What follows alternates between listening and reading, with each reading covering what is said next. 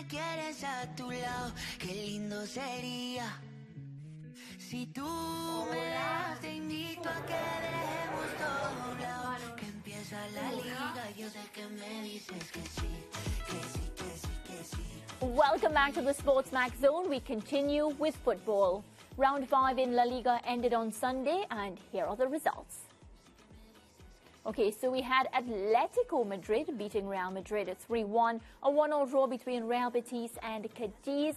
Las Palmas getting their first win of the season 1 0 against Granada, a 1 0 draw between Rayo Vallecano and Villarreal.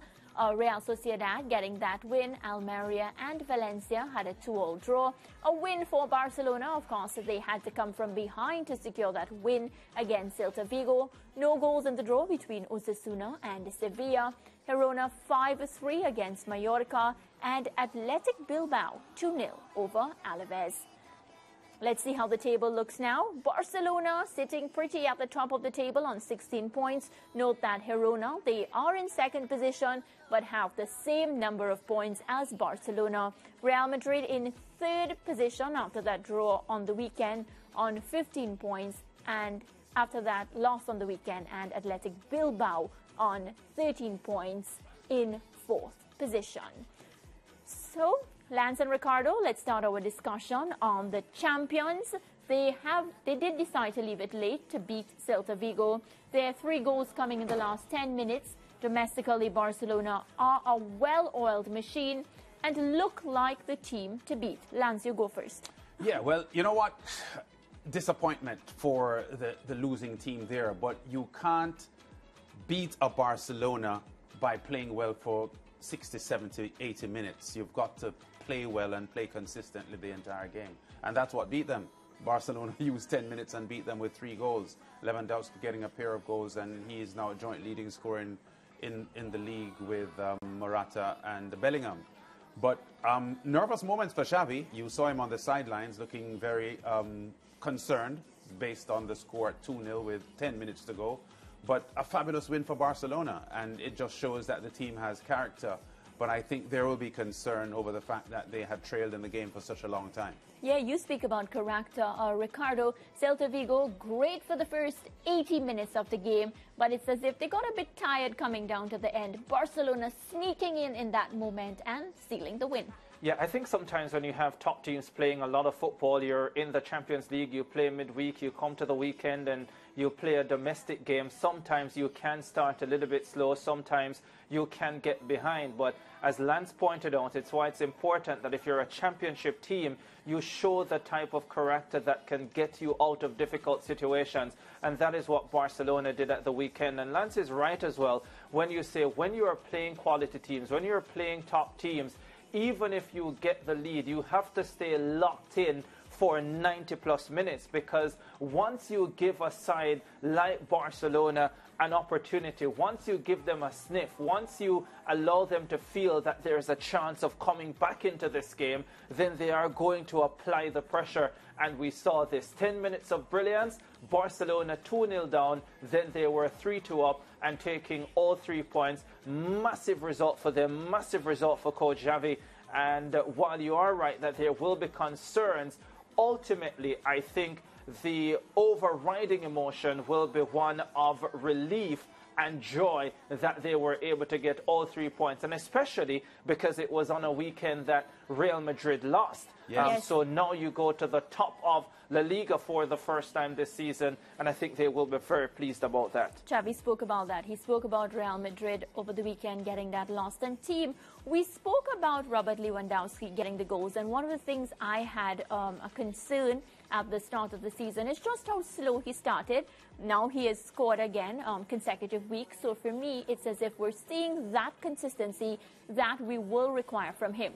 João Cancelo, though, uh, getting among the goals as well. And I think he is doing a really great job for Barcelona this season. Like he's becoming a staple that Xavi needs. Well, it was the important one in the eighth and 89th minute just before the game ended, and it was a, a clean finish because the cross came in. He was tight under pressure because there was a defender challenging, and he just um, deflected the ball off the outside of his boot in. So that was a lot of class there in that finish because it was a strong, firm cross coming in. And um, I, I, think he, he, was he was very skillful in how he turned it in.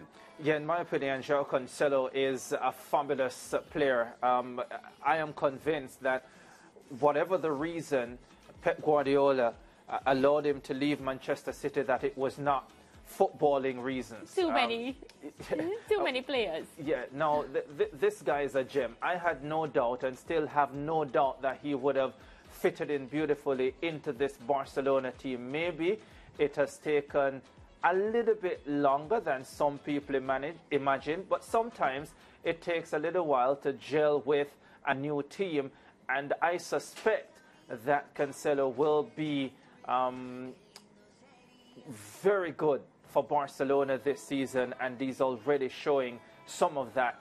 Um, and great to get the winner. I do miss him in the EPL though because I do miss those fantasy points. Um, but yeah, quality, quality, quality player. Yeah, force to be reckoned with for Barcelona. He's one we'll be watching very, very closely.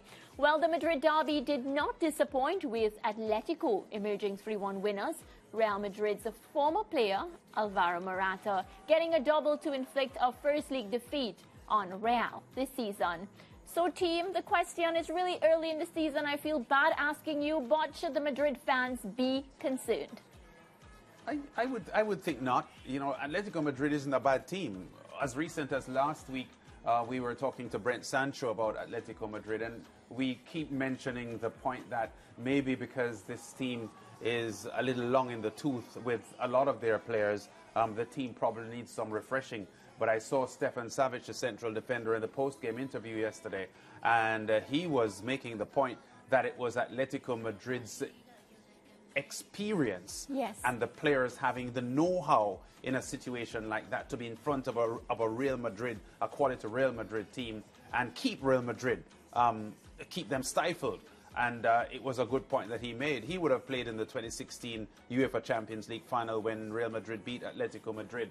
That was seven, eight years or seven years ago. So um, he, he, like several of the other Atletico Madrid players and their coach, Diego Simeone, uh, have been around for a long time.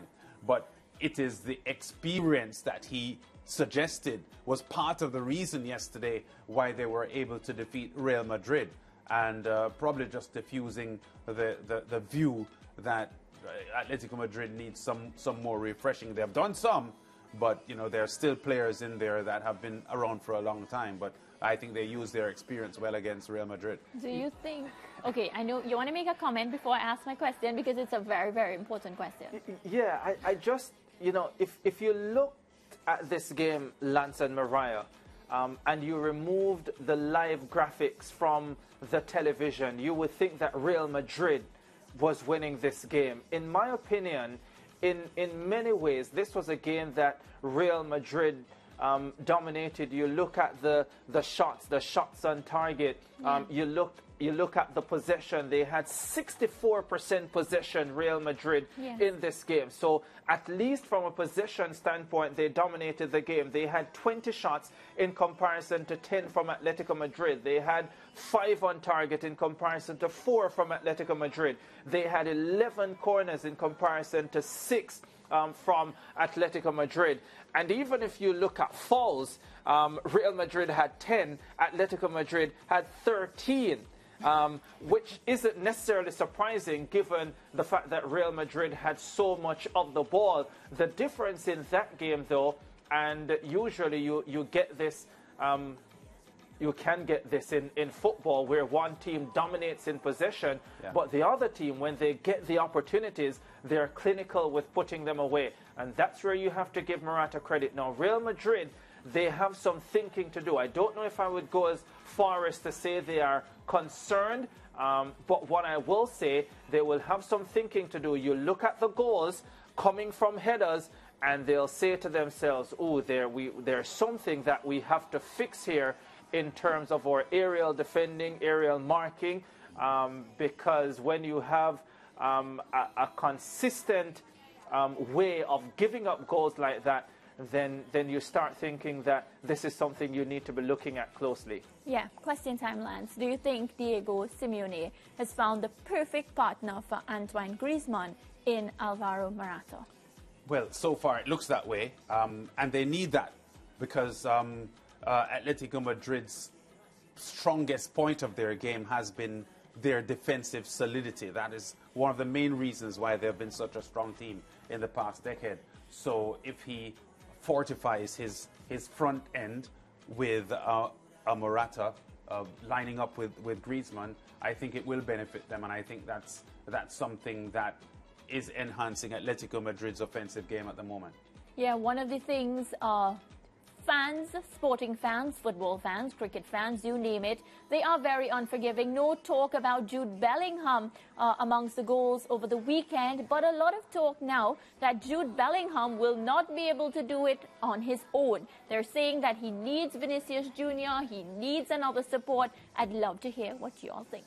And, and by the way, we just saw a couple of the goals um, that Atletico Madrid scored. And just notice, yeah. coming from crosses, finished off um, with headers.